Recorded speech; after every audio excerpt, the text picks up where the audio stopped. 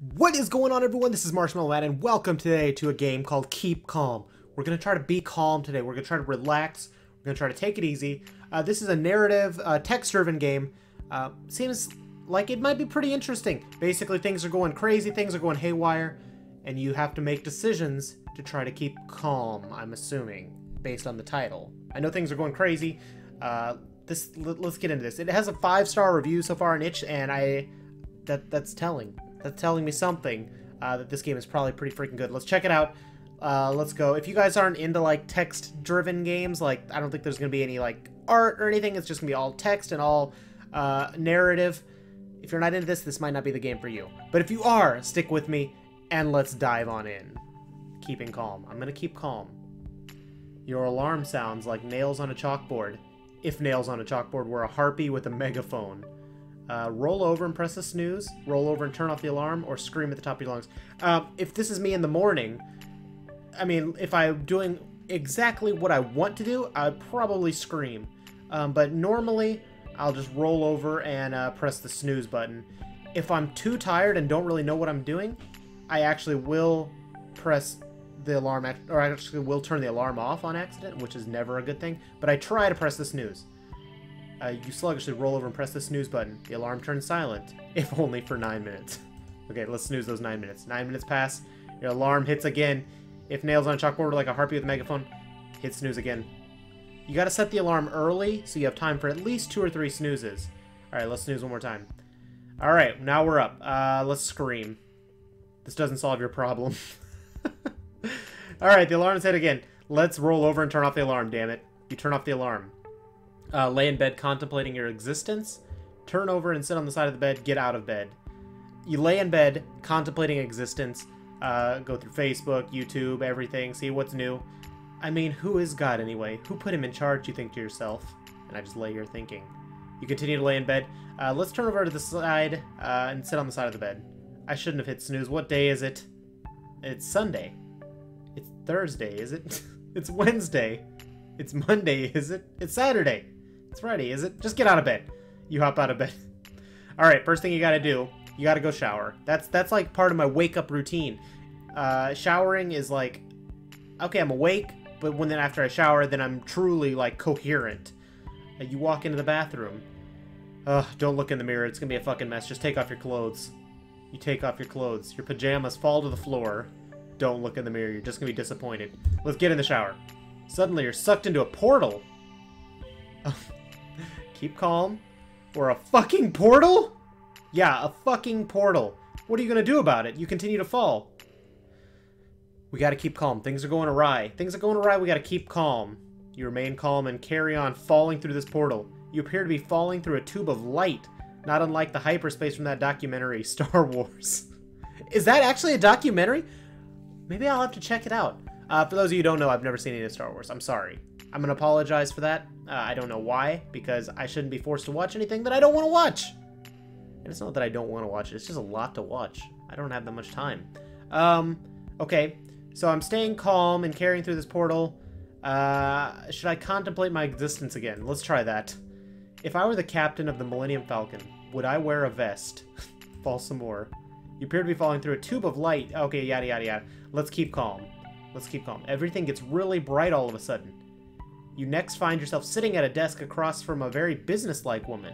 Stare blankly at the woman. Demand to know who the woman is. Who the hell are you? She quietly removes her glasses and folds them onto the desk. I know this is confusing, but just stay calm. Okay. Uh, send me back home! A figure appears behind her with a shotgun. It's pointed right at you. Wait, what? It shoots you in the face! Keep calm, you die. The end. what the fuck? Um, okay, let's try this again. Let's see if we can get a different ending. I found an ending. Okay, so what we're gonna do is roll over. Wait, now I don't have the option to, uh, to scream when I wake up. Okay, just roll over and turn off the alarm. Um, wait.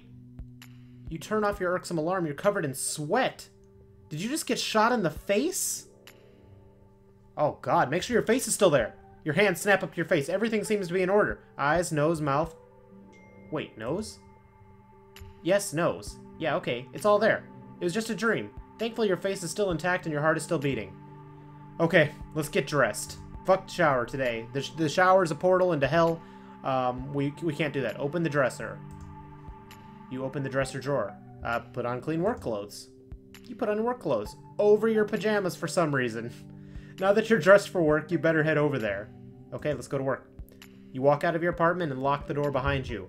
With the image of the face-shooting woman burned into your mind as you walk down three flights of stairs. Uh, let's go to our car. You head over to the parking lot beside your building. In your spot sits your car, your refuge, and your thinking space. You've affectionately named it Betty. That was the name of one of my cars, Betty. Aww. Uh, Betty chirps as you press the unlock key on your key fob. You slide into the driver's seat and close your door. You admire a trinket you've hung over the rearview mirror. Turn on the ignition, turn on the radio, get out of the car. so either try to turn on the radio before you put the key in the ignition, so that's going to be a fruitless effort, uh, or just get out of the car, go back home, go to bed. Let's still start the car. Start the car. Betty roars and hums as her engine starts. Uh, let's go get our carpool pal, Larry, or go to the coffee shop. I think I need a coffee this morning. As you pull out of the parking lot, you hear a loud horn from your left.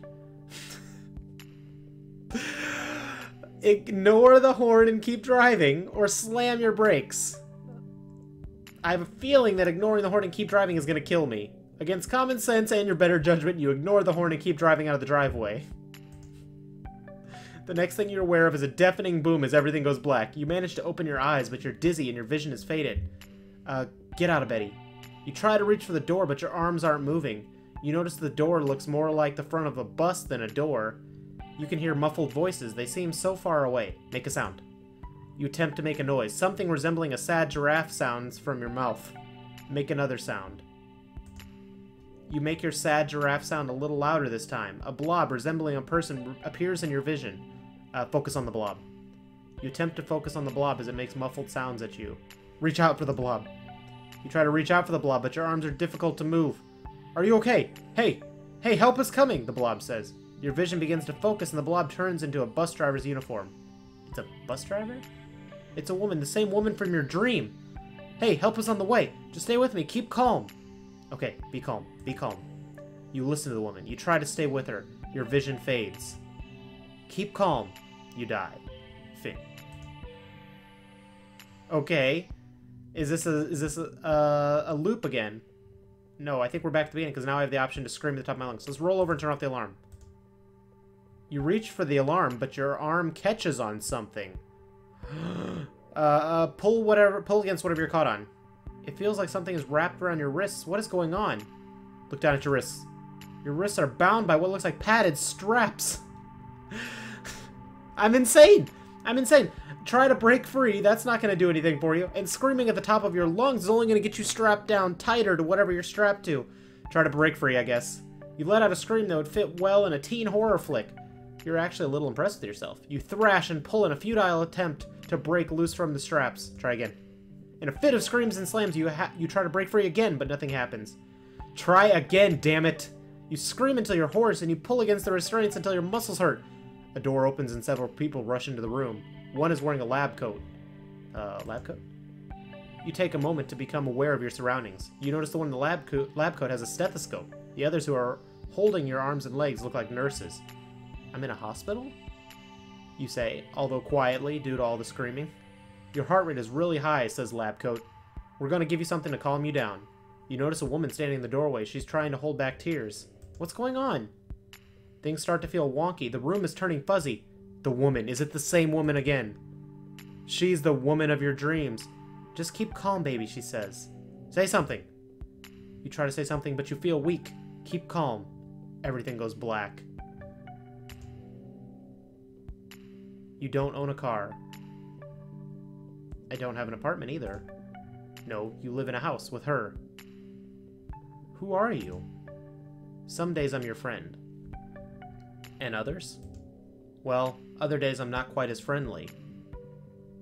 She is friendly, though. Yes, she is. She always is. Where's the alarm? No alarm today? You slowly awaken. There's no alarm. Okay, let's uh, let's look down at our wrists. Am I strapped down? They're still bound by the straps. Your wrists are bruised by your feverish escape attempts. The woman of your dreams sleeps in the chair next to you, her hand resting next to yours on the bed. Uh, let her sleep. You've put in, you've put her through a lot. Uh, hold her hand. You reach over and take her hand. Enjoy the moment. That's your only option. You enjoy a peaceful moment.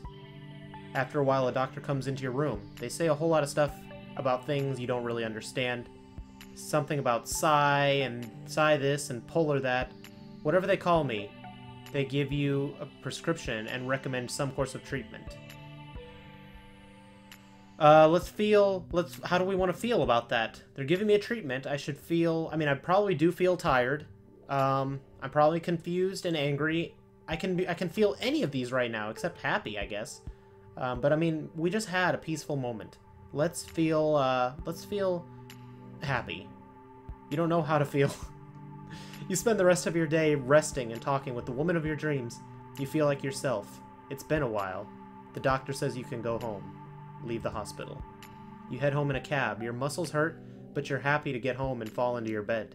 Sleep next to the woman of your dreams. In no time at all, you pass into a peaceful sleep. The alarm sounds like nails on a chalkboard if nails on a chalkboard were a harpy with a megaphone. Roll over and turn off the alarm. Before you can do anything, the woman of your dreams turns off the alarm. Good morning, she says with a smile on her face. You're still there in bed with her. Uh, good morning. You say back. How did you sleep, she asks. Uh, good. I slept okay. Uh, this isn't a dream, right? No, no, we gotta be calm. Be calm. You? I slept better now that you're home. She strokes your head and you both lay there for a moment. Come on, she says, time to get up. Alright, let's get up. You both get out of bed. I'll make us some breakfast, says the woman of your dreams. You go freshen up. Okay, I'll go to the bathroom. You walk into the bathroom. Uh, look in the mirror. My god, I'm gorgeous, you think to yourself. you admire yourself a moment. You feel good.